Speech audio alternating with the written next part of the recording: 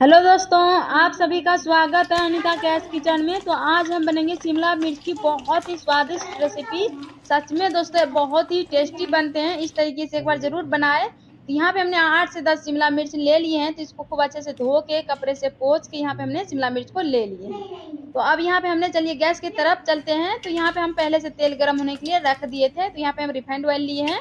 तो आप कोई सा भी तेल में इसको फ्राई कर सकते हैं। तो तेल खूब अच्छे से गर्म हो लिया है। यहाँ पे शिमला मिर्च ऐड करेंगे। तो आप एक बार में जितना फ्राई करना चाहते हैं ना, बस उतना ही डालिएगा। तो यहाँ पे हमने पाँच शिमला मिर्च ऐड करी हूँ। और इसको, गैस को हाई रखिएगा। इसको पलट पलट के सिर्फ़ एक मिनट के लिए हमें फ्राई करना है। ज़्यादा इसको फ्राई नहीं करिएगा। तो इसे ज़्यादा गल जाएगी शिमला मिर्च और अच्छी नहीं लगेगी खाने में। तो बस एक मिनट के लिए इसको फ्राई कर लीजिएगा। तो देख पा रहे हैं शिमला मिर्च का कलर भी अच्छा आ चुका है। और इसको हम निकाल लेंगे। तो देख पा रहे हैं ना दोस्तों, ज़्यादा कलर चेंज नहीं हुआ है। तो बाद हम प्लेट में इसको निकाल लेंगे। जो बाकी का हमारा शिमला मिर्च बचा हुआ था ना दोस्तों, उसको भी हम डाल के फ्राई करके निकाल लेंगे। तो इसी तरीके से निकाल लीजिएगा। और यहाँ पे हमने तीन टमाटर, तीन प्याज और लहसुन ले लिए हैं। इसको भी हम हल्का सा फ्राई करेंगे, ज़्यादा नहीं करेंगे। तो समझ लीजिए कि तकरीबन एक मिनट के करीब हम इसको फ्राई करेंगे। और ये फ्राई हो चुका है, इसको भी हम साथ ही निकाल लेंगे प्लेट में। और सारे चीज़ को दोस्तों ठंडा करके ले लीजिएगा। तो देख पा रहे हैं कि हमने ज़्यादा कलर शिमला मिर्च का चेंज नहीं किए हैं। ना प्याज, टमाटर ज़्यादा हम पकाए हैं। बस हल्का सा पका लीजिएगा और यहाँ पे हमने सारे चीज़ को दोस्तों ठंडा करके ले लिए हैं। तो हमने जल्दी ठंडा होने के चक्कर में टमाटर को, प्याज को कट कर लिए थे ताकि जल्दी ठंडा हो जाए। और यहाँ मिक्सचर की जार लिए हैं। इसमें हम प्याज, टमाटर और लहसुन को डाल के खूब बढ़िया सी पीस के ले लेंगे। तो लम्स बिल्कुल भी नहीं रखिएगा। खूब अच्छे से दोस्तों पीस लीजिएगा इसको। और यहाँ पे हमने ले ली है शिमला मिर्च। शिमला मिर्च को हम डंठल पहले हम कट करके साइड कर लेंगे और इसको हम दो भाग में कर लीजिएगा शिमला मिर्च को। और जो बीज होते हैं ना इसका, वो बीज बीच वाला पार्ट को निकाल लीजिएगा। कुछ इस तरीके से देख पा रहे हैं कि निकाल रहे हैं। तो बस इसी तरीके से सारे शिमला मिर्च को कट कर लीजिएगा दोस्तों। तो यहाँ पे हमने कट करके शिमला मिर्च को ले लिए हैं। तो चलिए फिर से चलते हैं दोस्तों गैस की तरफ़। तो यहाँ पे हमने ले लिए हैं कढ़ाई और कढ़ाई को खूब अच्छे से गर्म कर लीजिएगा। और एक बड़ी चम्मच यहाँ पे हमने तेल ऐड कर दिए हैं और तेल को खूब अच्छे से गर्म कर लीजिएगा धुआने तक। यहाँ पे हम डाल देंगे छोटी चम्मच से जीरा और जीरा खूब अच्छे से पक जाए, हींग डाल देंगे और अच्छे से दोनों चीज़ को कर लीजिएगा मिक्स। तो दोनों चीज़ हमारा अच्छे से पक चुका है। हींग से बहुत ही अच्छा फ्लेवर आएगा सब्ज़ी में। और यहाँ पे हम पीसी हुई मसाले ऐड करेंगे। तो जब मसाले आप ऐड कर रहे हो यहाँ पे गैस को बिल्कुल लो रखिएगा। अब यहाँ पे मसाले को हम अच्छे से कर लेंगे मिक्स और जो हमारे मिक्सचर की जार में मसाले लगे थे ना, सारे धो के ले लिए हमने। तो बस यहाँ पे हम सारी चीज़ को अच्छे से मिक्स कर लेंगे। और यहाँ पे मसाले ऐड करेंगे। तो स्वाद के अनुसार आप नमक लीजिएगा। तो जितना बना रहे हैं ना तो स्वाद के अनुसार नमक रखिएगा। और यहाँ पे हम आधी छोटी चम्मच हल्दी पाउडर एक चम्मच खूब भर के डालेंगे धनिया पाउडर। छोटी चम्मच हम ऐड कर रहे हैं।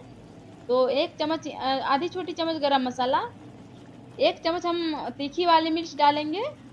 आपको तीखी कम पसंद हो तो कम डालिएगा। और एक चम्मच हम यहाँ पे कश्मीरी मिर्च डाल रहे हैं। सारे चीज़ को अच्छे से कर लीजिएगा मिक्स। और मिक्स करते हुए इसे हमें दो मिनट के, दो से तीन मिनट के लिए भूनना है मीडियम हाई फ्लेम पे। तो आप मसाले को जितना भुनिएगा ना दोस्तों, उतना ही अच्छा टेस्ट आएगी सब्ज़ी में। तो बस सारे मसाले को खूब अच्छे से भून लेना है, दो से तीन मिनट के लिए। तो देख पा रहे हैं तो तेल छोड़ चुका है मसाला, अच्छे से भून चुका है। और यहाँ पे हम डालेंगे एक चम्मच बटर। तो बटर ऑप्शनल है और बटर से बहुत ही टेस्टी बनती है और फ्लेवर बहुत ही अच्छा आएगा सब्ज़ी में। और इसको हम अच्छे से मिक्स कर लेंगे और यहाँ पे हम दो मोटी वाली दोस्तों मिर्च ऐड कर रहे हैं। इससे देखने में सब्ज़ी अच्छी लगेगी। तो इसको अच्छे से मिक्स कर लीजिएगा। और यहाँ पे हम ऐड करेंगे पानी। तो हम यहाँ पे एक गिलास पानी ले लिए हैं। तो आप ज़्यादा ग्रेवी पतला चाहते हैं तो पानी ज़्यादा डालिएगा। और थिक ग्रेवी चाहते हैं, जैसे हम बना रहे हैं तो बस एक ही गिलास पानी ऐड करिएगा। तो जैसे आप ज़्यादा बना रहे, जितना बना रहे हैं तो देख पा रहे हैं कि उबाल आने के बाद हम इसको दो मिनट पका लिए थे दोस्तों। और ध्यान रखिएगा कि हमें शिमला मिर्च को ज़्यादा नहीं पकाना है। सिर्फ़ दो मिनट के लिए इसको पका लीजिएगा। और यहाँ पे हम शिमला मिर्च ऐड करेंगे। तो भी हमारा पका हुआ है और शिमला मिर्च को ऐड करेंगे खूब अच्छे से, कर लीजिएगा मिक्स अब इसको हम ढकेंगे खूब अच्छे से मिक्स करने के बाद। तो गैस को अभी मीडियम ही रखिएगा। शुरू से लेके एंड तक गैस को मीडियम ही रखिएगा, क्योंकि हमने ज़्यादा पानी भी नहीं ऐड किए हैं। तो बस गैस को मैं मीडियम ही रखा है और इसको हम ढक लेंगे सिर्फ़ दो मिनट के लिए दोस्तों। तो दो मिनट के बाद हम चेक कर लेते हैं। तो देख पा रहे हैं सब्ज़ी काफ़ी गाढ़ी हो चुकी है और यहाँ पे हमने ले ली है कस्तूरी मेथी। इससे बहुत ही अच्छा फ्लेवर आएगा सब्ज़ी में, शिमला मिर्च की सब्ज़ी में, एकदम होटल जैसे। तो यहाँ पे हमने शिमला मिर्च सॉरी मेथी को क्रश करके डाल दी है। यहाँ पे तेल गर्म होने के लिए हम दूसरे वाले गैस पे रख दिए थे। एक मोटी वाली मिर्च डाल दी है, दो टुकड़ों में कट करके।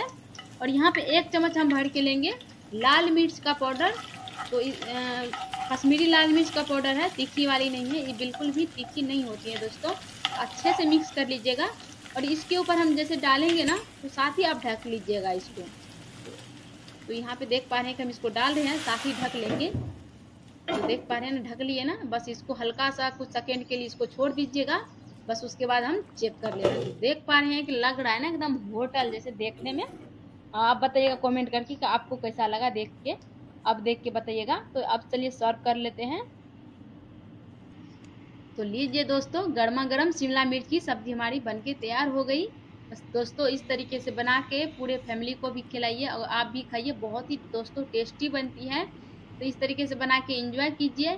दोस्तों, वीडियो पसंद आए तो वीडियो को लाइक शेयर कमेंट कर दीजिएगा। चैनल को भी सब्सक्राइब कर लीजिएगा। बेल आइकन के घंटी को भी प्रेस कर लीजिएगा और जो हमें फेसबुक पे देख रहे हैं ना फेसबुक पेज प्लीज़ फॉलो कर लीजिएगा हमारे वीडियो देखने के लिए सबको दिल से थैंक यू कल फिर मिलेंगे। Bye bye